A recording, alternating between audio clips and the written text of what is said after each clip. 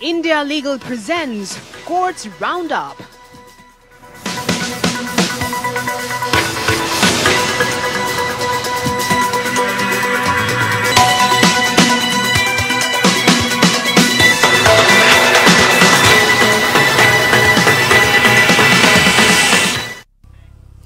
नमस्कार, आप देख रहे हैं हमारी खास पेशकश कोर्ट्स राउंड अप मैं हूँ आपके साथ रेशु त्यागी। इस बुलेटिन में अगले आधे घंटे हम आपको कोर्ट से जुड़ी तमाम छोटी बड़ी खबरों से रूबरू करवाएँगे। कोर्ट की कार्यवाही और सुप्रीम कोर्ट से लेकर हाई कोर्ट और लोअर कोर्ट तक के फैसलों को आपके सामने रखेंगे। लेकिन आगे बढ़ने से पहले एक नज़र हेडलाइंस पर। 16 दिनों की सुनवाई के बाद अनुच्छेद 370 पर सुप्रीम कोर्ट ने फैसला रखा सुरक्षित दोनों पक्षों के वकीलों को तीन दिनों के भीतर लिखित जवाब दाखिल करने का निर्देश। बिहार जाति सर्वेक्षण मामले पर ट्रांसजेंडर पहचान को जाति सूची में शामिल करने को सुप्रीम कोर्ट में दी गई चुनौती, बिहार सरकार के फैसले के खिलाफ दाखिल याचिका।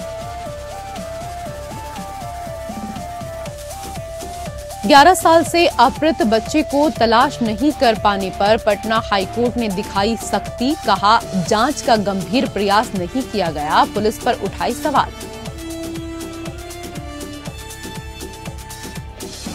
दो वोटर आईडी कार्ड रखने के आरोप में केजरीवाल की पत्नी को तीस हजारी कोर्ट का समन, गाजियाबाद और दिल्ली के पते का वोटर आई कार्ड होने का आरोप 18 नवंबर को है सुनवाई।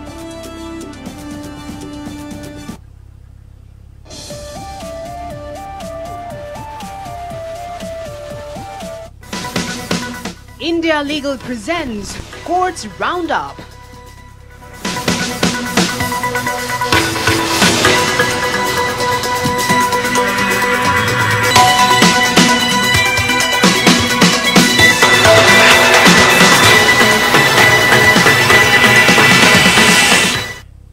Court की खबरें अब विस्तार से अनुच्छेद 370 हटाने को चुनौती देने के मामले में सुप्रीम कोर्ट में पीठ ने प्रतिवादी पक्ष की दलीलों पर सुनवाई बंद की। इसके बाद सुप्रीम कोर्ट ने फैसला सुरक्षित रख लिया है। प्रधान न्यायाधीश DY Chandrachud, justice Sanjay Kishan Kaul, justice Sanjiv Khanna, justice B R Gavai और जस्टिस सूर्यकांत की पीठ के समक्ष अपनी दलीलें दी थी। सुनवाई के दौरान पीठ ने सीनियर एडवोकेट वी गिरी के स्तर पर असहमति जताई है कि अगर अनुच्छेद 370 को पुनर्जीवित किया गया तो ये संविधान की मूल संरचना का उल्लंघन होगा। सीजेआई ने कहा, ये थोड़ा दूर की कौड़ी हो सकता है, क्योंकि तब यह मान लिया जाएगा कि मूल अनुच्छेद 370 बुनियादी ढांचे का उल्लंघन था। पिछली सुनवाई से अपनी दलीलें जारी रखते हुए सीनियर एडवोकेट वी गिरी ने तर्क दिया कि अनुच्छेद 370 ने जम्मू और कश्मीर के लिए एक क्षेत्र बनाया जो देश के बाकी हिस्सों के लिए संविधान की सामान्य संघीय विशेषताओं के साथ समान नहीं था। उन्होंने कहा कि ये अनुच्छेद केंद्र और जम्मू कश्मीर के बीच संबंधों को एक स्तर पर स्थापित करता है, जो केंद्र और अन्य सभी राज्यों के बीच संबंधों से अलग है। उन्होंने कहा कि जब संवैधानिक आदेश दो सौ बहत्तर द्वारा अनुच्छेद 370 को निरस्त कर दिया गया और संविधान के सभी प्रावधान जम्मू और कश्मीर पर लागू हो गए तो जम्मू और कश्मीर राज्य पूरी तरीके से अन्य सभी राज्यों के बराबर राज्य बन गया।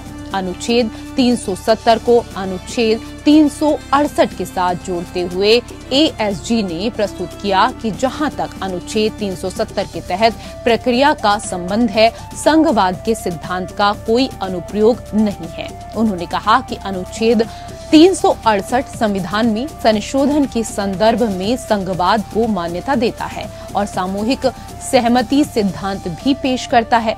सीनियर एडवोकेट महेश जेठमलानी उन हस्तक्षेपकर्ताओं की ओर से पेश हो रहे थे, जो जम्मू कश्मीर में गुजर बकरवाल समुदाय के सदस्य हैं।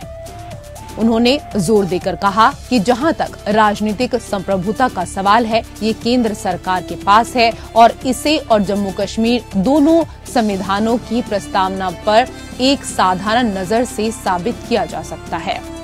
उन्होंने रेखांकित किया कि जबकि संप्रभु शब्द भारतीय संविधान में एक प्रमुख विशेषता है, इसके विपरीत जम्मू और कश्मीर संविधान की प्रस्तावना में संप्रभुता और यहाँ तक कि रक्षा का कोई उल्लेख नहीं किया गया था। जेठ मलानी ने दावा किया कि ये खंड हटा दिया गया था क्योंकि संविधान सभा के विघटन के बाद जम्मू और कश्मीर की घटक शक्ति अब विधानसभा के पास थी। अनुच्छेद 370 के मामले पर सोलहवें दिन सीजेआई की अध्यक्षता वाली पाँच जजों की संविधान पीठ में सॉलिसिटर जनरल तुषार मेहता ने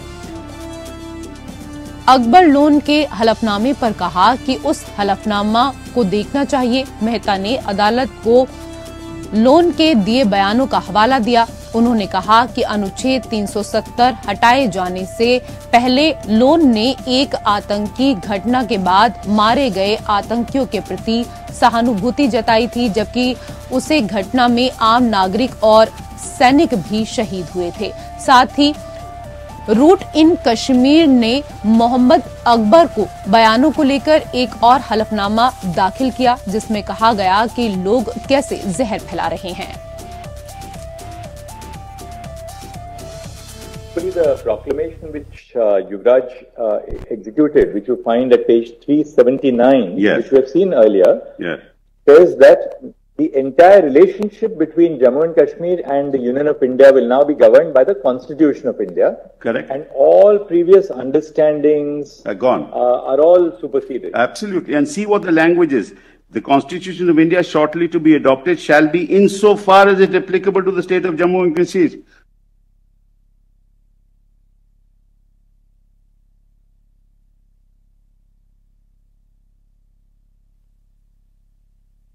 Come to the next one, Mullahs. Each of them, Mullahs, had the same proclamation. Each of them. And all that happened prior to 1950. except Jammu and Kashmir. And you'll find that at 379, Malats. 379. Because all those proclamations are different from the proclamation Kwe Jammu Kashmir, which is Malats 25th November 1950, before Malats the 26th January uh, 1949. the proclamations is the Furman of the uh, Nizam as well. हम satisfied हैं मुतमिन है जिस तरीके से बहस की गई है हमारी जो भी हमने ग्राउंड्स लिए थे अपनी पिटिशन में जो भी हमने कहा था पाँच अगस्त 2019 और 6 अगस्त 2019 के फैसलों के खिलाफ वो सारा बड़ी अच्छी तरीके से हमारी जो हमारा मौकफ था वो पेश किया गया वो उस बड़ी जो समात हुई बहुत अच्छी हुई हम मुतमिन हैं हर एक पहलू को, हर एक गोशे को, हर एक ऑस्पेक्ट को बिल्कुल उधर बिहार सरकार ने पिछले महीने जाति आधारित सर्वेक्षण के मद्देनजर ट्रांसजेंडर को जाति सूची में शामिल करने का फैसला किया था, जिसके खिलाफ सुप्रीम कोर्ट में याचिका दायर की गई है। सुप्रीम कोर्ट में जाति आधारित सर्वेक्षण के खिलाफ भी कई याचिकाएँ दायर की गई हैं, जिसमें सर्वेक्षण की प्रक्रिया की संवैधानिकता पर संधि जताया गया है।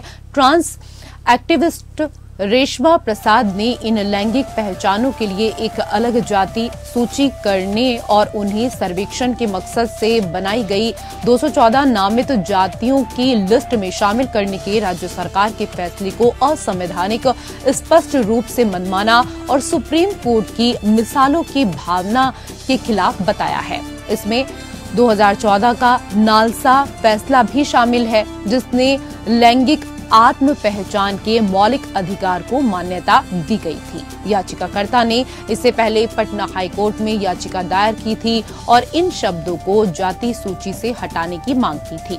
हालाँकि याचिका खारिज कर दी गई, जिसके बाद उन्होंने सुप्रीम कोर्ट का दरवाज़ा खटखटाया। हाईकोर्ट इस बात से सहमत था कि ट्रांसजेंडर आइडेंटिटी को जाति की कैटेगरी में शामिल करना गलत है। हालाँकि उन्होंने इस प्रक्रिया में हस्तक्षेप करने से इनकार कर दिया और याचिकाकर्ता को राज्य सरकार के समक्ष एक रिप्रेजेंटेशन देने के लिए कहा। याचिकाकर्ता ने तर्क दिया कि 6 जून को अधिसूचना में दिया गया यह वर्गीकरण अनुच्छेद चौदह समानता का अधिकार, अनुच्छेद पंद्रह, भेदभाव का निषेध, अनुच्छेद सोलह, सार्वजनिक रोज़गार में अवसर की समानता, अनुच्छेद उन्नीस एक ए, भाषण और अभिव्यक्ति की स्वतंत्रता और अनुच्छेद 21 जीवन और स्वतंत्रता का अधिकार सहित कई अनुच्छेद का उल्लंघन करता है। प्रसाद ने तर्क दिया कि इतना ही नहीं, बल्कि ऐसा वर्गीकरण transgender person protection of right act 2019 के विपरीत भी है।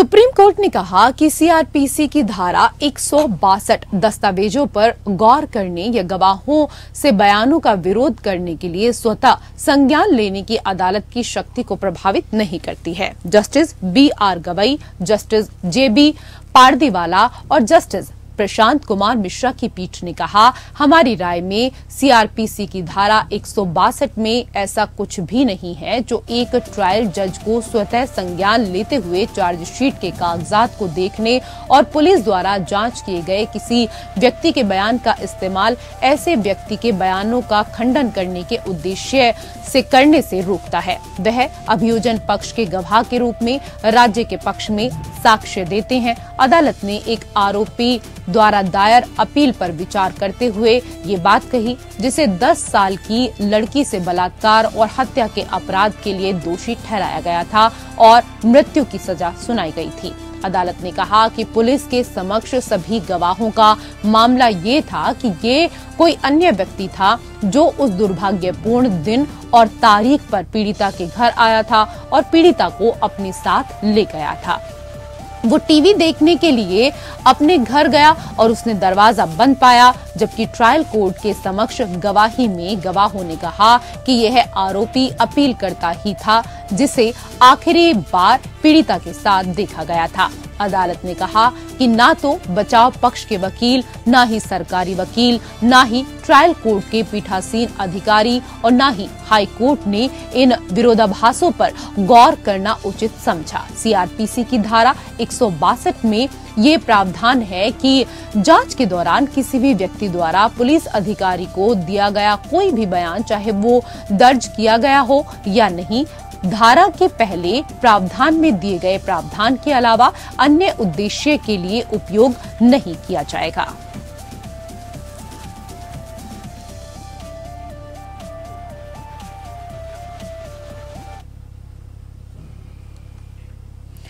उधर दिल्ली के सीएम अरविंद केजरीवाल की पत्नी सुनीता केजरीवाल को तीस हजारी कोर्ट की मेट्रोपॉलिटन मजिस्ट्रेट ने समन जारी किया है। अदालत को पहली नज़र में ही वो दोषी दिखाई दे रही हैं। लिहाजा उनको कोर्ट में पेशी लगाने के लिए कहा गया है। तीस हजारी कोर्ट की मेट्रोपॉलिटन मजिस्ट्रेट अर्जिंदर कौर ने ये आदेश जारी किया। उनका कहना है कि कोर्ट के सामने जो दस्तावेज़ और तथ्य रखे गए हैं, उनके मुताबिक सुनीता केजरीवाल पर केस बनता है। कोर्ट का कहना है कि 18 नवंबर को इस मामले पर गंभीरता से विचार किया जाएगा। दरअसल सुनीता केजरीवाल पर आरोप है कि उनके पास दो वोटर आईडी हैं, एक गाजियाबाद के पते पर है तो दूसरा दिल्ली का पता है। दिल्ली बीजेपी के नेता हरीश खुराना ने ये शिकायत 2019 में दायर की थी। कोर्ट ने इस मामले का संज्ञान अब लिया है। उन्होंने आरोप लगाया कि सुनीता केजरीवाल ने दो वोटर आईडी बनवा रखी हैं। एक आईडी गाजियाबाद के पते पर रजिस्टर है तो दूसरी चांदनी चौक के पते पर दर्ज है। खुराना का कहना है कि रिप्रेजेंटेशन ऑफ़ पीपल्स एक्ट की धारा 31 के तहत ये अपराध है। कोई भी भारतीय नागरिक एक ही समय में दो वोटर आईडी नहीं रख सकता है। बीजेपी नेता का कहना है कि रिप्रेजेंटेशन ऑफ़ पीपल्स एक्ट की धारा 17 और 31 के तहत उनको सजा दी जानी चाहिए। उनका कहना है कि कोई आम नागरिक ये करता तो इसे लापरवाही मान सकते थे। लेकिन सुनीता एक राष्ट्रीय दल के संयोजक और एक सूबे के सीएम की पत्नी है। लिहाजा उनके खिलाफ केस चलाकर उनको कड़ी से कड़ी सजा दी जानी चाहिए, जिससे औरों के लिए भी एक नजीर पेश हो सके। दलीलों पर कोर्ट सहमत दिखाई दिया, तभी सुनीता को समन किया गया है। ध्यान रहे कि राजनीति में आने से पहले अरविंद केजरीवाल और उनकी पत्नी भारतीय प्रशासनिक सेवा के अधिकारी थे। दोनों आयकर विभाग में तैनात रहे। पहले केजरीवाल ने नौकरी को अलविदा कहा। वो सीएम बने तो सुनीता केजरीवाल ने भी स्वैच्छिक रिटायरमेंट ले लिया था। वो पति के साथ रहती हैं।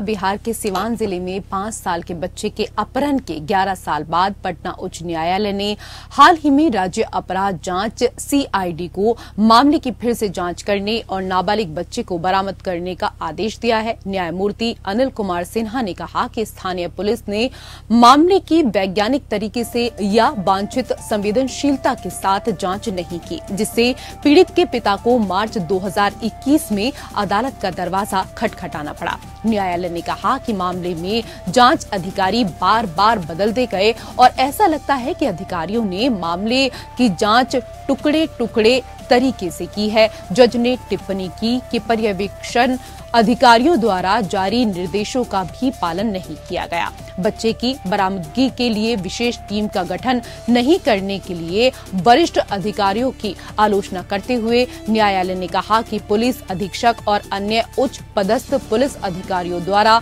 कोई गंभीर प्रयास नहीं किया गया। जस्टिस सिन्हा ने कहा कि इस अदालत ने ये भी देखा है कि लगभग साढ़े चार साल तक जाँच में कोई प्रगति नहीं हुई और केस डायरी नियमित तरीके से लिखी गई है। जाँच सही तरीके से नहीं की गई और जाँच अधिकारी द्वारा संदिग्ध के सही मोबाइल नंबर की सीडीआर भी नहीं मंगाई गई। अपहृत बच्चे के पिता ने 3 अगस्त 2012 को बसंतपुर पुलिस स्टेशन में एफआईआर दर्ज कराई थी। बाद में पता चला कि बच्चे को दो व्यक्ति बाइक पर ले गए थे। पुलिस ने अदालत को बताया कि मामले में एक अंतिम प्रपत्र प्रस्तुत किया गया, जिसमें खुलासा किया गया कि अपहरण होने के बावजूद आरोपी व्यक्तियों की पहचान नहीं की जा सकी। कोर्ट ने कहा कि जाँच करने में गंभीर लापरवाही और अंतर रहा है। न्यायालय ने कहा कि न्याय सुनिश्चित करने और जाँच में विश्वास जगाने के लिए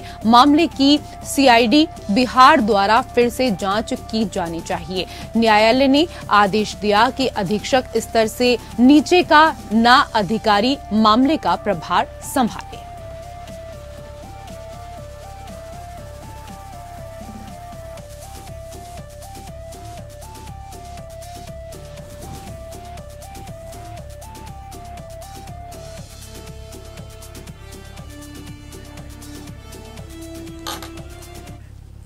उधर सुप्रीम कोर्ट ने 10 साल के बच्ची के साथ बलात्कार और हत्या के दोषी की मृत्यु की सजा वाले कैदी से संबंधित एक मामले में बिहार ट्रायल कोर्ट, पुलिस, सरकारी वकील और पटना उच्च न्यायालय के आचरण पर कड़ी आपत्ति जताई है। न्यायमूर्ति बी आर गवई, न्यायमूर्ति जे बी पारदीवाला और न्यायमूर्ति प्रशांत कुमार मिश्रा की पीठ उच्च न्यायालय सहित निचली अदालत में चल रही कार्यवाही से नाखुश थी, जो इस आधार पर आगे बढ़ी कि अपीलकर्ता दोषी था। कोर्ट ने कहा, कुल मिलाकर उच्च न्यायालय इस आधार पर आगे बढ़ा कि ये अपीलकर्ता दोषी था, जो मई 2015 की सुबह पीड़िता के घर आया और उसे टीवी देखने के लिए अपने घर आने का लालच दिया। ये टिप्पणियाँ 2018 के पटना उच्च न्यायालय के आदेश के खिलाफ एक अपील का निपटारा करते समय आई, जिसमें अभियुक्तों को दोष सिद्धि और मृत्यु की सजा को बरकरार रखा गया था। उच्च न्यायालय ने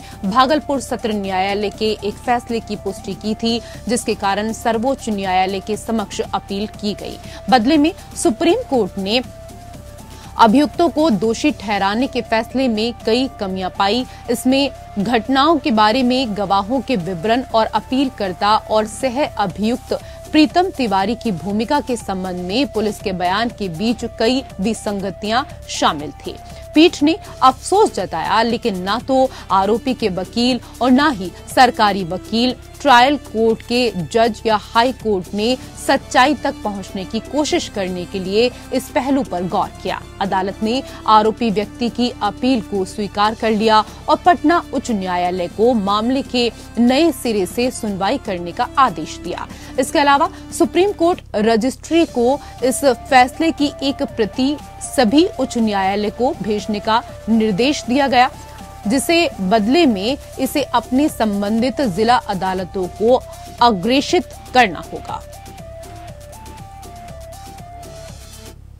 उधर सुप्रीम कोर्ट ने तेलंगाना में संविधान के तहत लोगों को दी गई स्वतंत्रता की गारंटी पर विचार किए बिना निवारक हिरासत के आदेश पारित करने की बढ़ती प्रवृत्ति की निंदा की। न्यायमूर्ति सूर्यकांत और न्यायमूर्ति दीपांकर दत्ता की खंडपीठ ने तेलंगाना राज्य के अधिकारियों को याद दिलाया कि संविधान के तहत गारंटीकृत मौलिक अधिकारों पर विचार किए बिना अधिनियम के कठोर प्रावधानों को लागू नहीं किया जाना चाहिए। इस पर जानकारी दे रहे हैं इंडिया लीगल के वेब रिपोर्टर।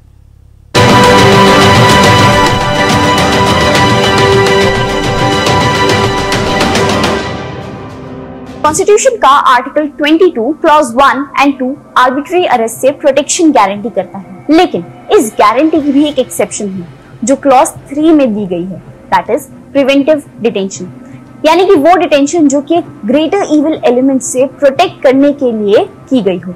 सुप्रीम कोर्ट ने हाल में तेलंगाना में प्रिवेंटिव डिटेंशन के बढ़ते ऑर्डर्स को कंडेम करते हुए कहा कि this can be invoked at the drop of a hat तो कुछ गाइडलाइन समझते हैं जो प्रिवेंटिव डिटेंशन की लीगैलिटी टेस्ट करने के लिए ज़रूरी है। डिटेनिंग अथॉरिटी उतनी ही पावर यूज़ कर सकती है जितनी स्टैट्यूट में ऑथराइज की गई है। ऑर्डर डिटेनिंग अथॉरिटी की रिक्विजिट सेटिस्फेक्शन पर बेस्ड होना चाहिए। पर रिक्विजिट सेटिस्फैक्शन को कैसे पहचाने? सेटिस्फैक्शन उन मटेरियल पर बेस्ड हो जिसकी रैशनल प्रोबेटिव वैल्यू है। एक प्रोक्सीमेट लिंक होना चाहिए पास्ट कंडक्ट से। डिटेंशन के ग्राउंड्स वेग नहीं होने चाहिए प्रिसाइज और रेलेवेंट है। और जो टाइमलाइन स्टैट्यूट में मेंशन है उसे स्ट्रिक्टली एडियर करना है।